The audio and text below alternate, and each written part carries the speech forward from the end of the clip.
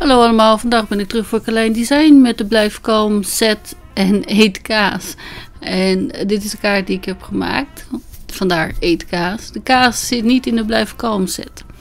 Maar goed, de sample is best wel lang, dus ik gebruik een A4 die ik in de lengte vouw.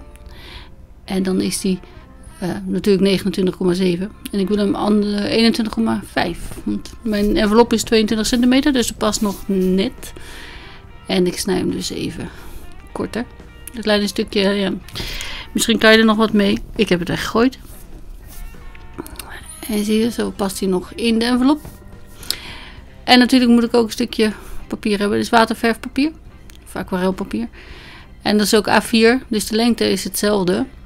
Dus ik hoef alleen maar een stukje van 10,5 centimeter te snijden. Dat is even breed. Maar ik heb 9,5 gedaan. Zodat ik een randje krijg. En het randje vond ik niet groot genoeg. Dus ik snij hem nog een klein beetje af. En volgens mij heb ik hem niet helemaal recht gesneden. Dat zie je straks eh, wel. Um, en nu stempel ik de muizen. Die zijn van AA LL en Create. Al en Create. Ik weet niet hoe je het uitspreekt, maar het is nummer 167 of Balance, ook wel zo genoemd. En ik stempel hem met eh, Gina K Amalgam Ink. Is dat Balance hier.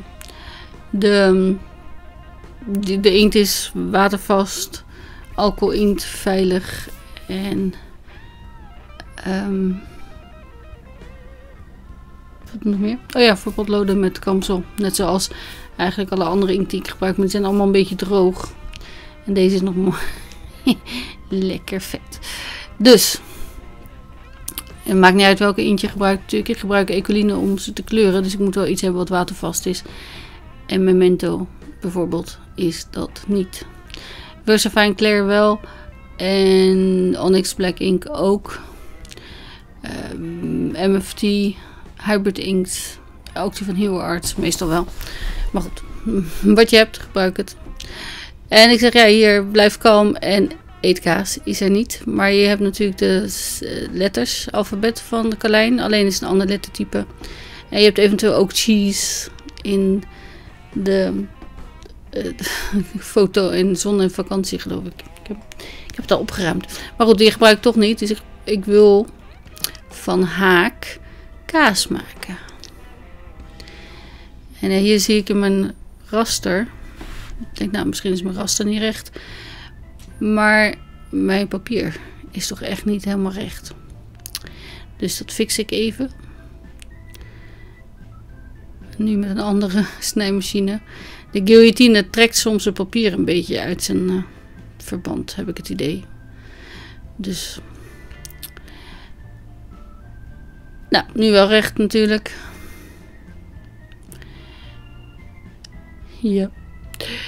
Dus blijf kalm. Dit is gewoon één tekst. En ook. Eet. Zit ook los. En haak. Ik kan ze niet alle twee stempelen, want er zit iets meer ruimte in als bij blijf kalm. Maar wel even voor de voor de test, even te proberen.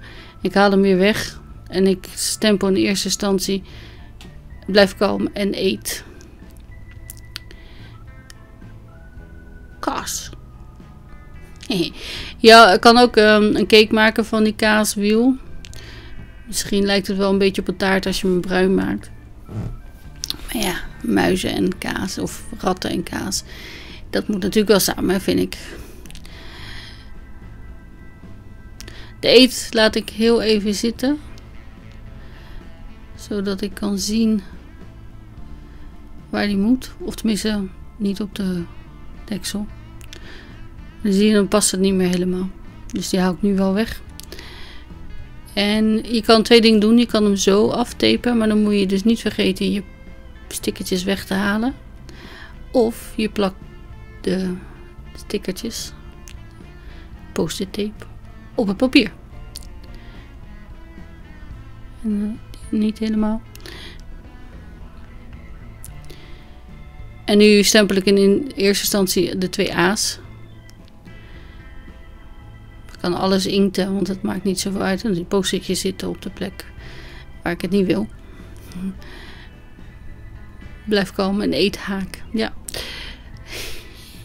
en de K, hij zit natuurlijk wel op haak. Dus ik kan de letters die ik dus ernaast heb gestempeld eh, mooi gebruiken als plek van waar ik het wil.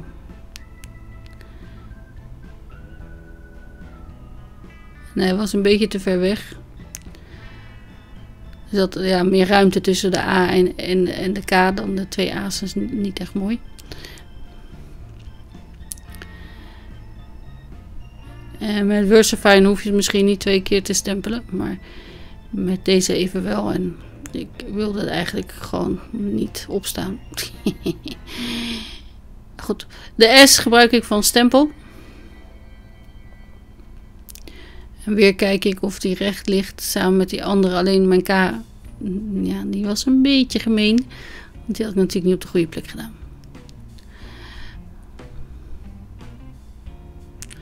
En zoals ik al zeg, je kan de losse stempels gebruiken in de alfabet van Carlijn Design. Alleen ja, als je het niet erg vindt dat het een ander lettertype is, zou ik het zeker doen. Dat is iets makkelijker. Kijk, hier stempel ik hem nog wel even af, want die, de T zit erg dichtbij. En dan moest ik het natuurlijk een paar keer doen. Maar je kan hem ook zo afplakken. Maakt er niet zoveel uit, maar ik doe toch wel ja, moeite om het alleen de S te beinkten. Is dat een werkwoord? En volgens mij is het hoekje van de